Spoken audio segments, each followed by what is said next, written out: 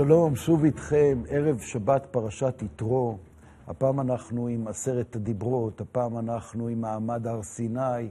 הפעם אנחנו גם בפרקים של 929 הולכים לחוות את הרגע שבו משה מכה על הסלע במקום לדבר ומקבל את הבשורה, לא תבוא אל הארץ. שאלות של מנהיגות ערב כניסה לארץ, ואת כל זה אנחנו הולכים לעשות עם האורח שלנו הפעם, אלוף פיקוד דרום לשעבר, דוקטור יום טוב סמיה, שהקים לנו את מפלגת ביחד, שתרוץ לבחירות ה-21. שלום, יום טוב. שלום. אנחנו הולכים למסע עכשיו, הולכים למסע שקודם כל פרשת שבוע, אחרי זה קצת 929, ובסוף עוד נשאל משהו על השבת שלך. אבל בוא מההתחלה. אתה יודע, אה, יתרו, זה שם הפרשה, פרשת יתרו, הוא לא באמת משלנו. יתרו הוא שייך, אה, הוא נביא של הדרוזים. אחד הדברים היפים שאני אוהב בפרשות השבוע, במשך אה, שנים שנהגתי אה, לתת על זה פרשנות בבית הכנסת שבניתי, זה היכולת כמעט כל שבוע לקשור את מה שנאמר בפרשה לאקטואליה. באופן מדהים. נכון. זה כל פעם מפתיע אותי מחדש. נו, אז ספר על האקטואליה הפעם. יתרו הוא נביא הדרוזים. ואתמול המשלחת הדרוזית של קציני uh, צה"ל במילואים היו אצלי בבית, ואמרתי להם, תראו, הייתם צריכים לבוא בשבוע שעבר, דחיתם, באתם השבוע, זה נפל על פרשת יתרו. שזה הנביא שלכם, וזה חותן משה, וזה מישהו שמצא אותנו, היהודים, כראויים, משום שהאלוהים שלנו הוא באמת האל היחיד, והוא התגייר בעקבות אה, ביתו ציפורה, והנה זה קושר בינינו כבר מאז. אז אתה כבר זורק אותי לתוך uh, הקטע הזה של חוק הלאום, יום טוב. אם זה כבר, אז בואו... אה, גם לא, כאילו- בפרשה הזאת מוזכר הרי שאין מוקדם ומאוחר בתורה. בהמון דברים. נכון. אז באמת, אה, אה, בהקשר של חוק הלאום, זה ההקשר שהם באו אליי. אני רוצה בהקשר הזה של חוק הלאום, והדרוזים, ויתרו, וישראל, כאילו, אני רק בשביל הצופים שלנו רוצה, כי נראה לי שאתה כבר צללת עמוק, ואני רוצה לרגע... אני כל הזמן. אז אני רוצה שנייה אחת אוקיי. ככה, בזום אאוט כזה. להגיד, יש פה באמת משהו שהוא יכול נורא להביך. כי מצד אחד יש יתרו שבא ואומר, אני יועץ לך, וכל הפרשה על שמו, ווואו, פתחנו לו ידיים. מצד שני, כשאתה מדפדף דף אחד מהפרק על יתרו, אתה מגיע לרגע שלפני קבלת התורה, משה עולה אל האלוהים, ואז אומר לו השם, תשמע, לך לבני ישראל ותגיד להם, אם תשמעו בקולי, אם תעשו, את, תקבלו את התורה, אני אהיה לכם לאלוהים, ואתם תהיו לי ממלכת כהנים וגוי קדוש, עם סגולה.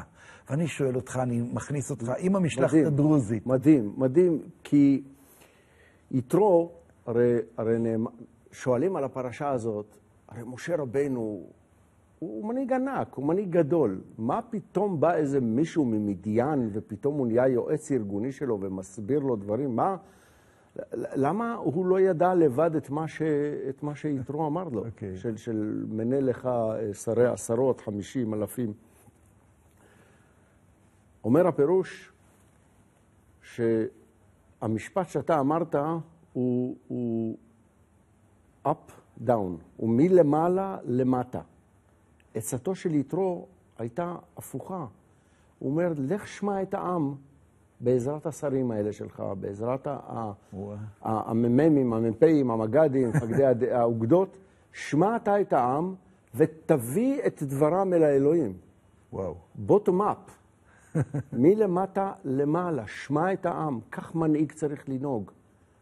להקשיב עכשיו... לרחשי העם ולהחליט אחר כך באומץ, אמר את זה בן גוריון, לא מה העם רוצה, אלא מה הוא צריך. אני מקשיב למה שהוא רוצה. זה חשוב להקשיב למה שהעם רוצה. אבל בסוף, אני אחראי לתוצאה כמנהיג, אני צריך לקבל החלטה של מה שהוא צריך שנעשה. וואו. אז עכשיו, א', מקסים הפירוש, אבל עכשיו אני הולך איתך לתוך הקטע הזה שמצד אחד באים אליך ואומרים סגולה. סגולה, עם סגולה. סגולה. עם סגולה, אבל גם יבוא יום אחד בלעם ויגיד, עם לבדד. מרוב שאתם סגולה, אתם מייצרים את זה לבד. ואז באה אליך משלחת דרוזית, של הנביא יתרו, ואומרים, תגיד, אנחנו לא יכולים להיות ביחד? חוק הלאום הרי מעמיד אותנו במתח נורא גדול. יבואו המצדדים בחוק ויגידו, לא, בזכויות אדם. יש חוק כבוד יסוד האדם וחירותו, שם מדברים. אבל כבוד האדם בזכות, בלאום, מה זה קשור, הם אומרים? ואיפה אתה? אני מניח שניגע בהמשך בעשרת הדיברות. נכון, נכון. ועצם הגדולה של מתן שם הפרשה הזאת על יתרו, ולא פרשת הר סיני, נכון. ולא פרשת uh, מתן תורה, אפשר היה שמות עילאיים אחרים לתת לפרשה הזאת, ופתאום זה יתרו. וואלה. בכלל בשמות של הפרשות יש דברים מוזרים. נכון. בחיי שרה אין מילה על החיים שלה, כי היא מתה במשפט הראשון. אבל, אבל, אבל זה מעניין, כי זה מושך אותנו לתוך העניין הזה של, של היוהרה הפוגעת במנהיגות. משום שכשאם אני אומר לבן שלי, או למישהו, כל הזמן אני משבח אותו, אתה הסגולה, אתה הכי טוב, אתה זה וזה, כמו שאומרים בשפת הרחוב, עולה לו אדם למוח. כן, כן, כן. ואז הוא מרגיש שהוא, כולם אומרים שאני טוב, אז אני יכול לנהוג ביוהרה, ואז באמת, כשאמרו לנו, עם לבדד תשכון, דיר בלקום, שזה לא יעלה לכם לראש יותר מדי, הסיפור הזה של אתם העם הנבחר. מדי פעם, תיגעו בקרקע, תיגעו באדמה, תחושו את מה שצריך בשביל להבין שחטא היוהרה, הוא פגע בנו הרבה מאוד פעמים. חטא היוהרה הוא אחד מה, מהפגיעות, אפילו משה רבנו הוא ענש על חטא היוהרה, דרך אגב. כן. אפילו משה הגדול בסוף. הענב מכל האדם. הענב מכל האדם בסוף עונה של חטא היוהרה. זה, זה איום ונורא, צריך כל כך להיזהר מהדבר הזה. כן. נדבר על משה, אבל בוא, יש, בוא נגנוב רגע, כי אני רוצה להמשיך, אמרת עשרת הדיברות, באמת זה הלב של הפרשה. אפשר לדבר שעות על עשרת הדיברות, אני, אני הולך להתקיל אותך. כאילו, זה לא יפה, אבל תבחר אחד. תבחר אחד ותגיד, וואו. בא לי לדבר על זה. וואו, זה, זה מורכב. אה, אחד.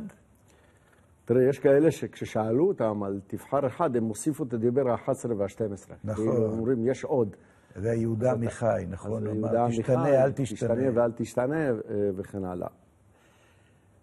באמת שמעשרת הדיברות, אני חושב שיש דיבר אחד שאתה יכול להכניס בתוכו את כל התשעה האחרים. Okay. זה אוקיי. כבד את אביך ואת אמך, למען יאריכון ימיך.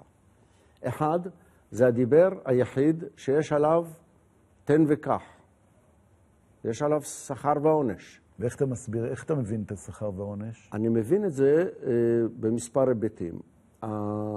הראשון הוא כבד את אביך ואת אמך, למען יאריכון ימיך, כדי שתראה אם הילדים שלך יכבדו אותך אותו דבר.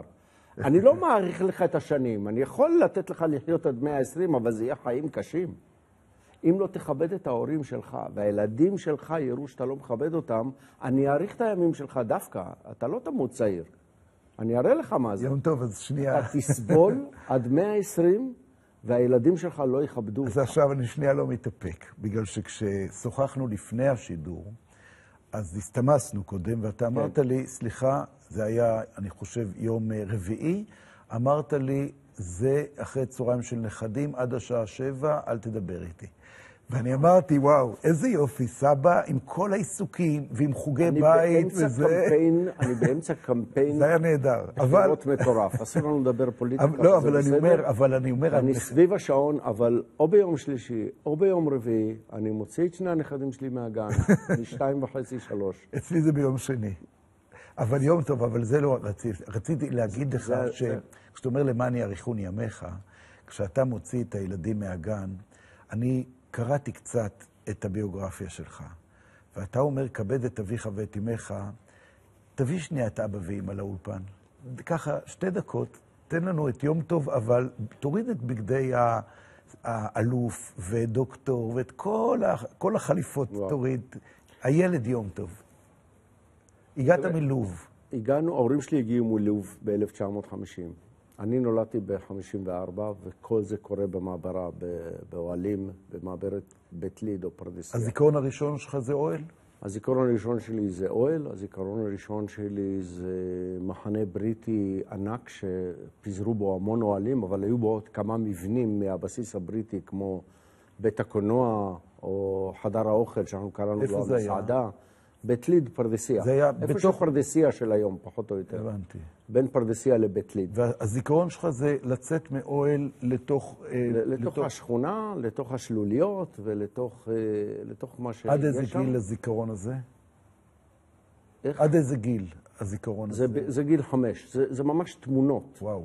הזיכרון היותר חרוץ זה כשעברנו לשכונה, לשיכון. אה, ומה אימא ואבא עשו?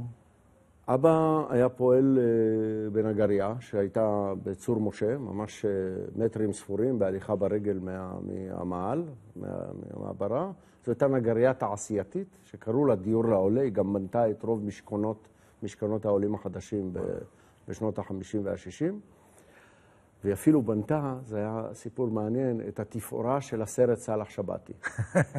שכל פעם שאני רואה אותו, אלוהים עדי, אני בוכה.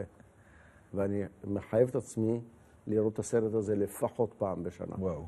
כמו את השוטר אזולאי. כדי לראות שאני שונה מאבא שלי לפחות, הוא לא סאלח שבתי.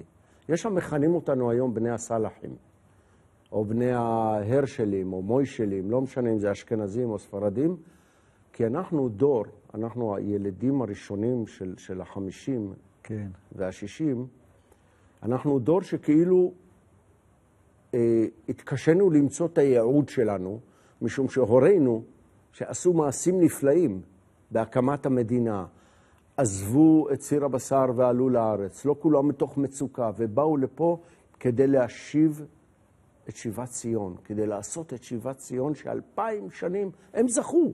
הם מרגישים שאחרי אלפיים שנים, שזה המון המון המון דורות, הם זכו. כמה שנים הם חיו. בארץ, ההורים? הרבה? הם חיו עד יום מותם, הם, הם עלו ב-1950. עד איפה הם ראו אותך? עד איזה גובה הם ראו אותך? אה, אבא שלי ראה? אותי תת-אלוף, ואימא שלי, לצערי הרב, אה, אה, סליחה, אבא שלי ראה אותי אלוף. ראה אותך אלוף. בהנקה, כן. איזה כבוד. ואימא שלי רק תת-אלוף, והיא גם לא זכתה לראות אותי דוקטור, כי זה היה החלום שלה. היא בטח התכוונה לרופא מן הסתם, אבל אה, לא לזה. וואו. והזיכרון משני האנשים האלה הוא, הוא זיכרון מדהים של הדבר הראשון, תהיו בני אדם. זה מה שהם אמרו, לש... אנחנו שמונה אחים, ארבע אחים וארבע בנים, ארבעה בנים וארבע בנות. הדבר הראשון, תהיו בני אדם. תכבדו את הבריות, תכבדו את מה שקורה בחוץ, תכבדו את השלטון. אבי פחד מהשלטון, פחד שבו אתה רואה שהוא בא ממדינה טוטליטרית, מלוב. כן. וכאילו הוא למשל לא ישן בלילות, כי הוא י- פחד שהממשלה תבוא ותיקח לו את הבית, כי יש משכנתה על הבית. וזה כל כך נחרט בתוכי, שהחצי שנה הראשונה שלי של משכורות כ- כאיש קבע, הלכתי ושילמתי את המשכנתה של הבית. וואו. והבאתי לו את הנייר ואמרתי לו, אבא, הבית שלך, אף אחד לא יכול להעיף אותך מהבית. זה, קודם כל, זה כבד את אביך, כפשוטו, נכון? זה כן. זו, כפשוטו. זו האמירה הזאת כפשוטו, לדאוג לזה שהוא פשוט יישן. הבן אדם לא היה ישן בלילות. אז שנייה, יום טוב אנחנו... ועוד משהו היה של, של חנוך לנער על פי דרכו. אבא ואמא היו מאוד דתיים, אבל הם הרשו לנו לעשות דברים שהם כדתיים לא עשו. למשל, ללכת בשבת לים, או לרכוב על האופניים, או לראות אפילו טלוויזיה בשישי בערב. היה מסתיים הקידוש, כמו שצריך, ואוכלים, ואשת חיל, ובר יוחאי אחרי האוכל, ותפילת המזון והכל, ברכת המזון, ואבא היה פורש לחדר שלו, וזה היה לנו הסימן שמותר. שאפשר להדליק טלוויזיה. לימים, שאלתי את אבא שלי, "את- אתה היית שיטתי, לא הפריע לך שהדלקנו טלוויזיה, אתה בלעת את זה, נכנסת לחדר, אני הולך לחנך ילדים ואני הולך לבלוע דברים שהם הולכים להראות לי וואו. כיוון אחר. מה, מה היה הרציונל שלך? הוא אמר לי, תראה, בשבילי שהילדים שלי יושבים עוד שעתיים, שלוש בבית ולא מסתובבים בחוץ, שכונת עוני, מצוקה, פשע, קושי, אני עשיתי את החשבון הפשוט. שלוש שעות בבית הילדים שלי לידי, יותר טוב מאשר שלוש שעות בחוץ. איזה איש. פשוט פתר לי את הבעיה. ואימא לעומתה, במובן של, של החיים, זה היה משהו מדהים. היא, קודם כל היא הייתה בעל הבית. בניגוד לכל מה שאומרים שאצל הספרדים, אבא הוא הפטריארך, הוא מחליט, הוא קובע, אימא שלי קבעה הכל, אבל הכל. ולכן, כשהיינו שואלים אותה, למה אין לנו מה שאין לילדים האחרים? בגד יפה, או וידאו שקנו לבית, או טלוויזיה צבעונית, הייתה אומרת, תקשיב, הלירה הראשונה שתהיה לנו זה לאוכל, כי צריך לחיות. הלירה השנייה תלך לחינוך של כולכם. אם תהיה לנו לירה שלישית, נתלבט מה לעשות איתה. וזו הדרך. יום טוב, אנחנו צריכים את החלק הזה לעשות uh, הפסקה, כי אנחנו עוברים לחלק השני, שזה הפרקים של 929, פרקי התנ"ך היומי. אז שניונת, אנחנו במעבר וקופצים לספר במדבר. וואו.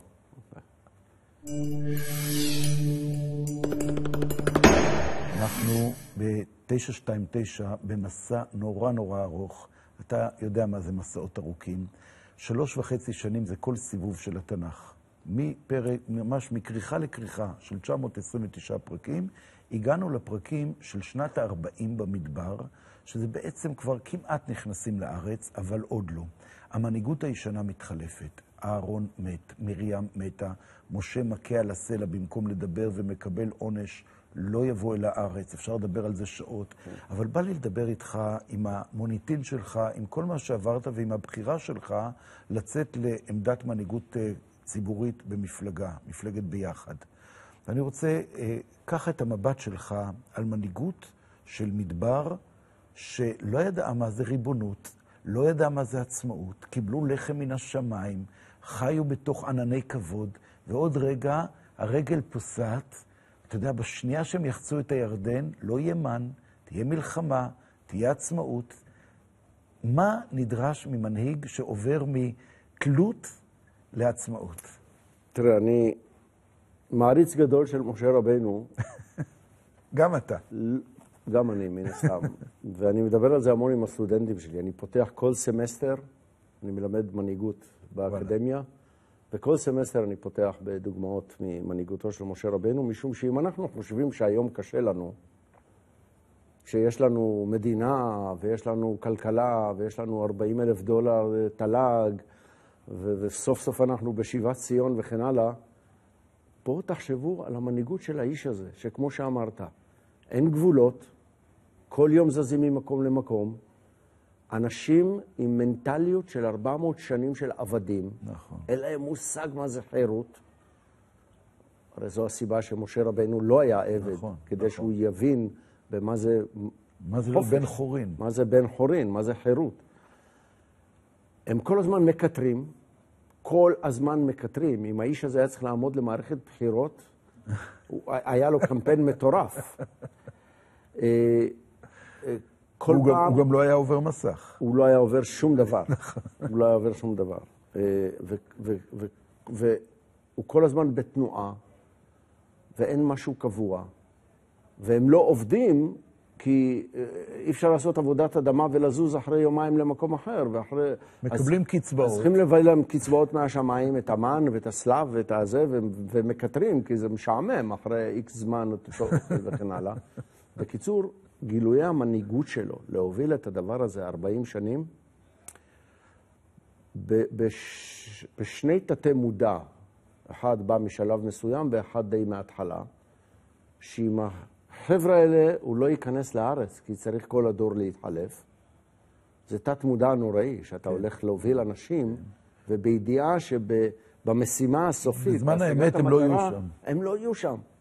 אז אל מי אתה מדבר? אל, אל בניהם, אל נכדיהם, אל הדור הבא, ואחר כך שגם אתה לא תהיה שם. וזה, פה אני רוצה לגעת בנקודה חז, של מנהיגות של חזון. מנהיג עם חזון זה מנהיג שמקבל החלטות מאוד כבדות, שזה המאפיין של המנהיגות היהודית-ישראלית. בגדול אני יכול להגיד עד לפני 20-30 שנה, לצערי הרב קצת איבדנו את החלטות החזון. שאתה מקבל, אחד, אחד הדברים הכואבים בהחלטה חזונית, זה שאתה מקבל החלטה לעשות משהו, אתה יודע בוודאות מלאה שאתה לא תהיה שם כשזה יתממש, וואו. או שלא תהיה בחיים, או שהקדנציה שלך תיגמר, או בשפה של היום, אתה לא תהיה שם כשיחתכו את הסרט. כן, וואו. אבל למחרת בבוקר, אתה קם ומתחיל לעבוד על זה כאילו אתה תהיה שם. וואו. אתה לא אומר, צריך לעשות ככה וככה.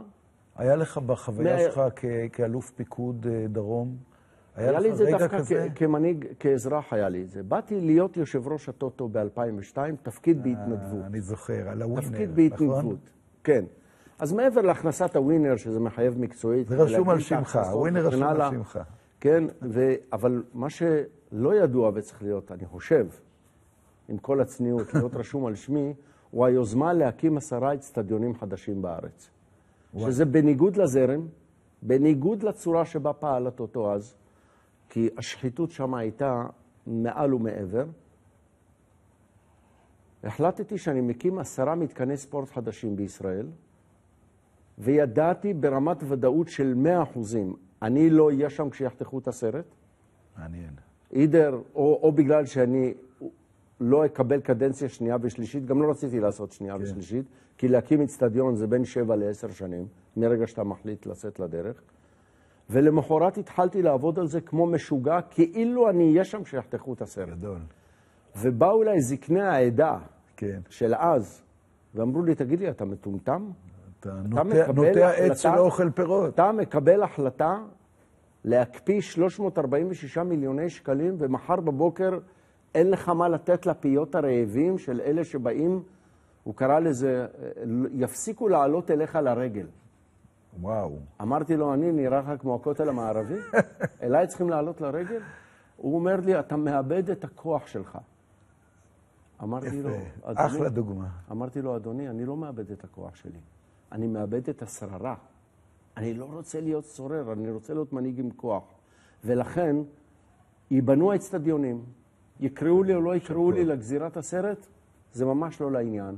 והיום, כשאני מסתכל על המשחקים ועל הספורט, אצטדיון טרנר בבאר שבע, פתח תקווה, אצטדיון נתניה, סמי עופר בחיפה, הארנה של הכדורסל בירושלים, בריכת השחייה האולימפית בווינגייט, היכל אה, יד אליהו ששופץ ונהיה אה, זה, והיכל האתלטיקה בהדר יוסף. תשעה מתקני ספורט שלא היו אילו הייתי מקבל את ההחלטה הקשה הזאת. טוב, שאלה. שניים לצערי הרב לא נבנו, והנה האקטואליה והדרוזים, אחד שתכננו לדרוזים בין דליה לעוספיא, לא נבנו. ואחד בגליל העליון, לא נבנו כי המועצות המקומיות לא הצליחו להביא את העשרה אחוז מאצ'ינג לעניין. אז עכשיו אני צולל חזרה לפרשה ולמשה, בסדר? משה לא נכנס לארץ. כולם בוכים על זה, כולם שואלים, ואני שואל אותך עכשיו בעמדת המתבונן, שאומר, העם הזה לא היה יכול להיכנס, העם הזה היה עבדים, קרוץ מחומר עבדות, משה היה קרוץ מחומר חירות, לא נכנס לארץ, רצה להיכנס לארץ. היית מכניס אותו או לא היית מכניס אותו להנהיג את הארץ? וואי, אתה שם לי היום... מכשול, נכון? מכשולים ודילמות מאוד קשות. אני הייתי מכניס אותו. בתור מנהיג? או בתור בית הלורדים? בית הלורדים זה רעיון לא רע, כי יהושע בן נון כבר תפס את המנהיגות. כן. הוא כבר... גדל. גדל, הוא כבר למד ממנו. אבל אני הייתי מכניס אותו ועושה את השינויים במשרות האלה של ראש ממשלה ונשיא. אז אתה אומר, הוא עכשיו... אתה בועט בו להיות נשיא. עכשיו הוא הנשיא, נשיא ישראל. כן. אבל לא מקבל את ההחלטות. ושעדיין אפשר ללכת ולטכס עמו עצה. והוא בכל זאת בקשר ישיר עם הקדוש ברוך הוא, הוא לא צריך חברה סלולרית בשביל לדבר, okay. אוקיי. ונותן, ונותן לו את הכבוד של כן להיכנס, כן לראות את, את uh, טוב הארץ ולאפשר, כי זה קצת יותר מדי אכזרי מצד אחד. ומצד שני, יכול להיות שאנחנו צריכים לדעת שהחיים הם לא ירח דבש. אבל אתה יודע, יש מי, שאמר, יש מי שאמר שזה מידת הרחמים שהשאירו את משה בהר נבו. כי הוא נשאר עם ההשתוקקות, יש. ולא ראה בעיניים את איך זה נראה, אני בטוח שיש פירושים לכאן ולכאן, אבל אני אה, חושב ש... אתה היית מכניס. כמנהיג שעשה את מה שהוא עשה, ושוב, גם אם אתה מנהיג אותו בעמדת הנשיא, אוקיי. בעמדת הסמל, היה, יש לזה אה, משקל מאוד מאוד כבד. אז עכשיו, יום טוב, אני סוגר, קראנו גם את הפרשה, גם את פרקי 929, ועכשיו אני סוגר, ואנחנו עושים הפסקונת שניונת, ועוברים לחלק השלישי שהוא אתה. אתה והשבת. עוד רגע.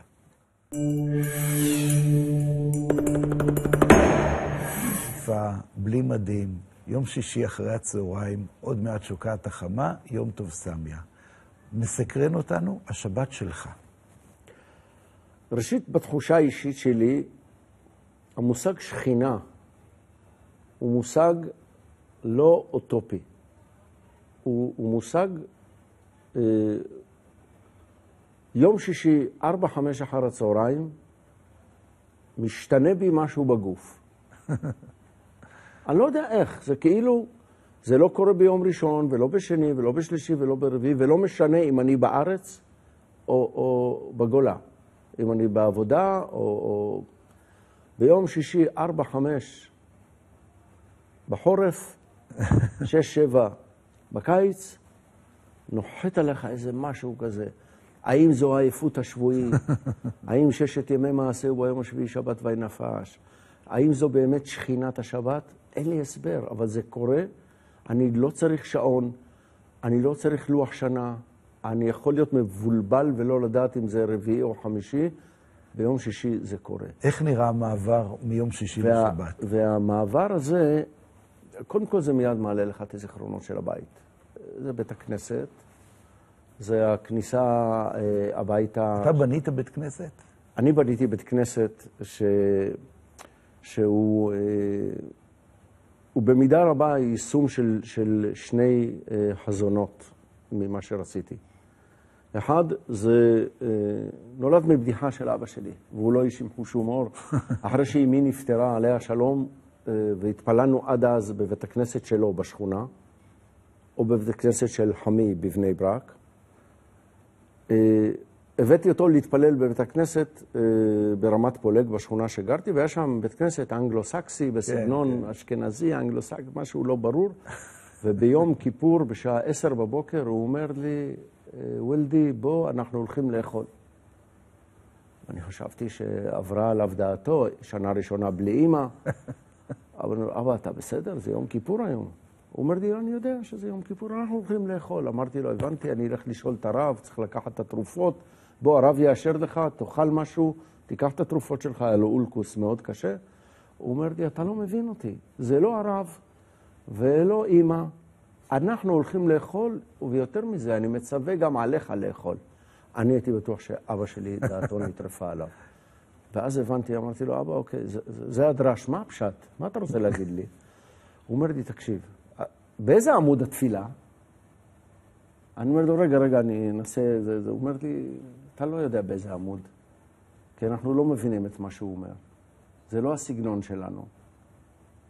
והפסוק, ועיניתם את נפשותיכם עד מאוד, התקיים בי כבר מאה אחוז. אני לא מבין, אני לא נהנה מהתפילה שלך. נגמר לי יום כיפור. נגמר היום כיפור, אנחנו הולכים ללכת לאכול. אמרתי לו, אבא, הבנתי את הרמז, שנה הבאה אתה מתפלל בבית הכנסת שכולנו מבינים. וואו. והתחלתי לבנות את בית הכנסת. וואו.